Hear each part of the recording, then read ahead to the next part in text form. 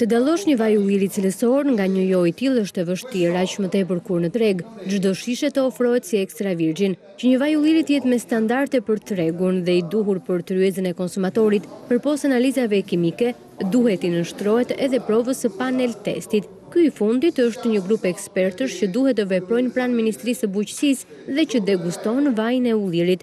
Edhe pse parashikohet me ligj, në vendin tonë panel testi nuk funksionon. Çështja është se mungon hallka vepruese që ta bëjë, që t'i japi kompetenca vepruese këtij panel testi.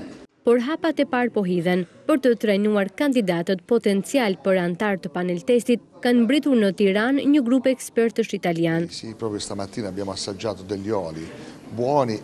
Këtë mëngjes kemi provuar vajra të mirë dhe jo të mirë, por nëse konstituohet panel testi dhe të gjithë prodhuesit dërgojnë vajin e tyre në këtë grup degustuesish, sigurisht që panel testi do të japë një dorë për më shumë cilësi. Prandaj për mendimin tim është i nevojshëm. Po ashtu, me rëndësi është edhe kryerja e analizave kimike në laborator, gjë që tek ne është e mundur.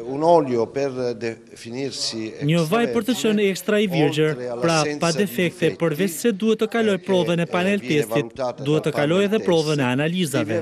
Por në Shqipëri problemi është se kemi gjetur etiketa ku shkruhet ekstra i virgjër, po në të vërtetë vaji nuk ka qenë i tillë. Prandaj duhen mekanizma më të fortë kontrolli.